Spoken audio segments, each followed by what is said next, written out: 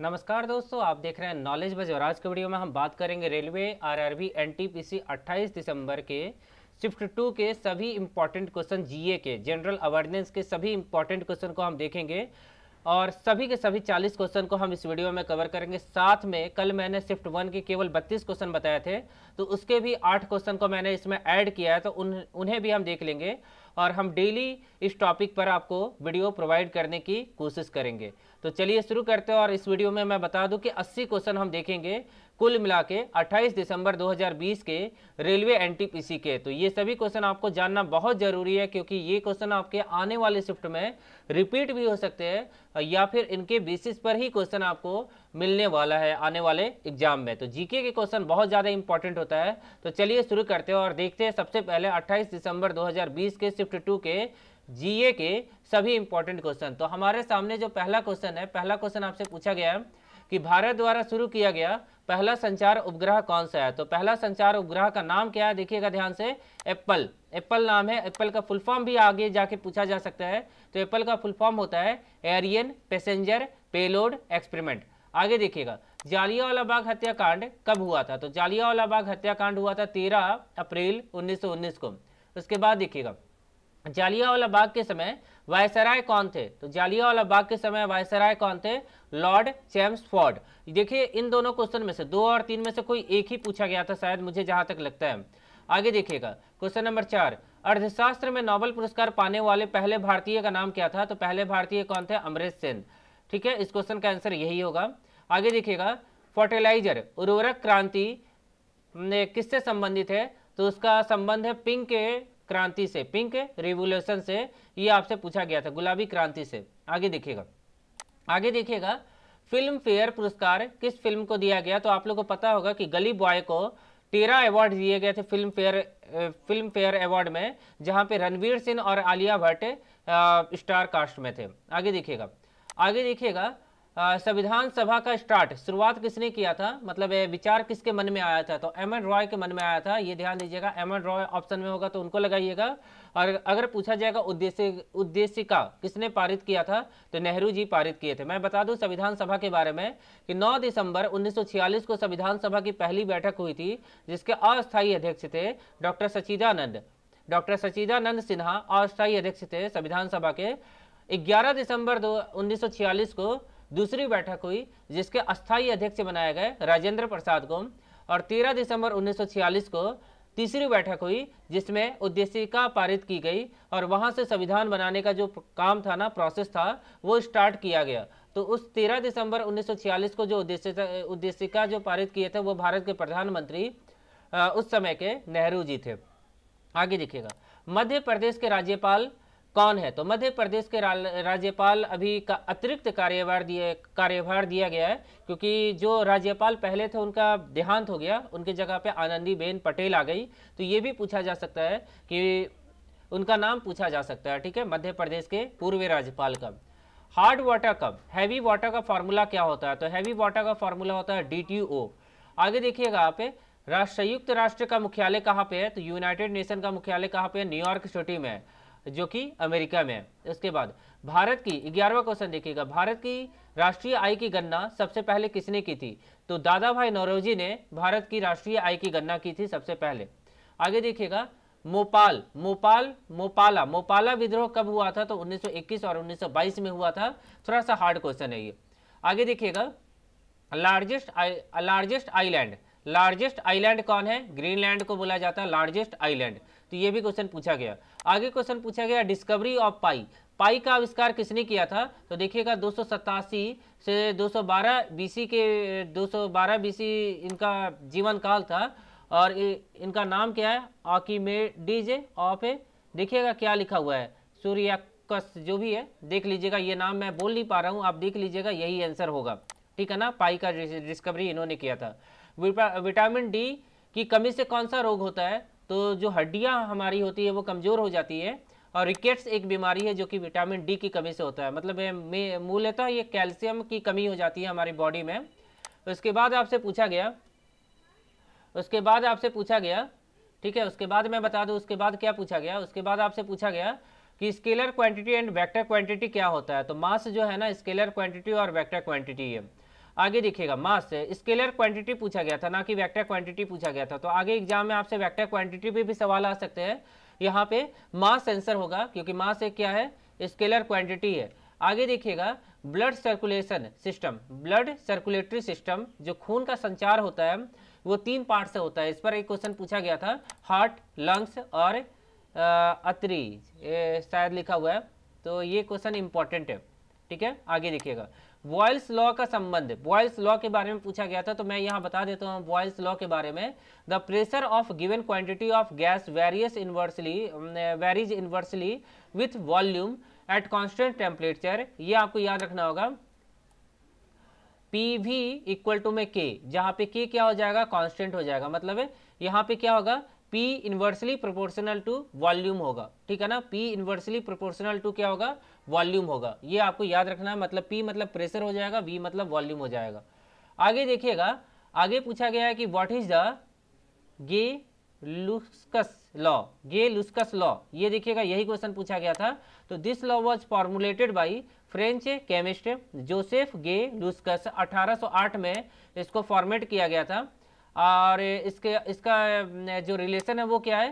P directly proportional to pressure directly proportional to temperature और यहाँ पे यहाँ पे देख लीजिएगा पी अपॉन में टी इक्वल टू में वो कांस्टेंट होता है। तो इसी चीज़ का इन्होंने 1808 में खोज किया था तो ये क्वेश्चन बना था एग्ज़ाम में।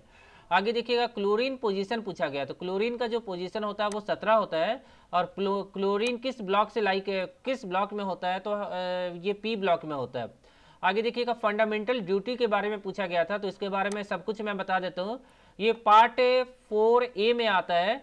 बयालीसवें संविधान संशोधन 1976 में से ऐड किया गया था, और जो फंडामेंटल ड्यूटी है अभी, वो कितने हैं? ग्यारह। ग्यारह फंडामेंटल ड्यूटी है, इक्यावन ए आर्टिकल में इसके बारे में दिया गया। तो ये इक्यावन ए के बारे में शायद पूछा गया था।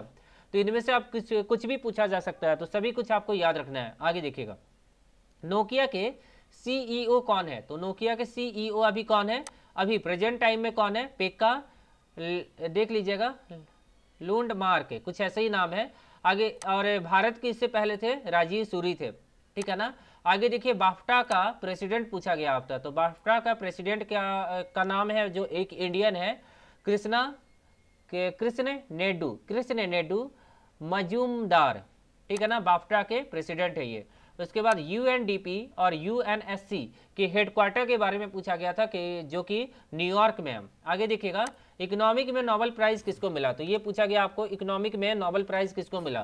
तो नोबल प्राइज मिला दो लोगों को इकोनॉमिक में, इस साल पॉल आर मिलीग्राम आगे देखिएगा रॉबर्ट बी विलियम विल्सन आगे देखिए एन का फुल फॉर्म पूछा गया आपसे। तो एन का फुल फॉर्म क्या होता है? नेटवर्क इंटरफेस यूनिट आगे पूछा गया, भाभा एटॉमिक रिसर्च सेंटर। तो भाभा एटॉमिक रिसर्च सेंटर क्या हो जाएगा? ट्रॉम्बे, मुंबई हो जाएगा। अगला क्वेश्चन पूछा गया, पेटीएम के सीईओ e कौन है? तो पेटीएम के सीईओ सीईओ सभी को पता है, विजय शेखर शर्मा है। आगे देखिएगा। राहुल गांधी का कंसिस्टेंसी मतलब कहाँ के सांसद है? तो वायनाड वायनाड, केरला के सांसद है ये। इससे पहले राय अमेठी के थे। अमेठी में क्योंकि सास भी कभी बहू में जो काम करती थी क्या नाम था? आ, मुझे नाम नहीं याद आ रहा है। उन, उन्होंने हरा दिया था राहुल गांधी को। आगे देखिए स्मृति ईरानी उनका नाम है। आगे देखिए येन येन कहाँ की करेंसी है? तो जापान की करेंसी है। ये भी क्वेश्चन पूछा गया। पिनाका मिसाइल के बारे में पूछा गया था कौन बनाया? तो पिनाका जो है डीआरडीओ बनाया हुआ है। आगे देखिएगा टू लैंड लॉक है कंट्री इन साउथ अमेरिका पूछा गया। तो बोलविया और परागवे ये दोनों कंट्री क्या है? इसमें समुद्र है ही नहीं लैंड लॉक कंट्री है। एक भी समुद्र नहीं है यहाँ पे। उसके बाद सेरी कल्चर के बारे में पूछा गया तो ये सिल्क फ़ार्मिंग के लिए होता है, रेशम सिल्क के लिए होता है। आगे देखिएगा अमाउंट ऑफ़ सब्सटेंस है मेजर इन मोल ये भी एक क्वेश्चन पूछा गया कि अमाउंट ऑफ़ सब्सटेंस को किसमें मेजर किया जाता है? तो मोल में मेजर किया जाता है। 49 पैरल लाइन कहाँ पे है? तो यूएसए एंड कनाडा में ये भी एक क्वेश्चन पूछा गया। नेट नेशनल प्रोडक्ट एनएनपी का फुल फॉर्म पूछा गया तो सभी को पता है कि एनएनपी का फुल फॉर्म क्या होता है।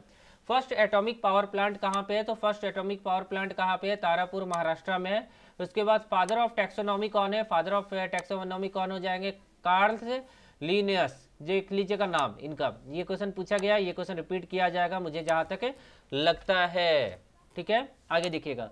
The photosphere is the star जो स्टार का जो लाइट होता है ना, जहाँ से रेडिएशन निकलता है, उसको क्या बोला जाता है? फ़ोटो स्पेयर बोला जाता है, जो आउटर पार्ट होता है।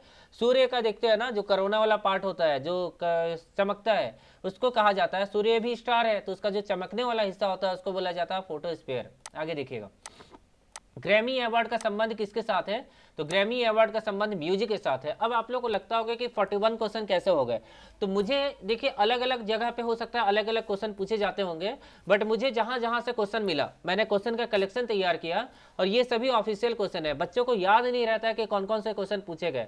तो मिक्स क्वेश्चन हो जाते हैं। तो हो सकता है कि या तो नंबरिंग गलत हुआ है, या हो सकता है कि एक दो क्वेश्चन मैंने दो बार लिख दिया है।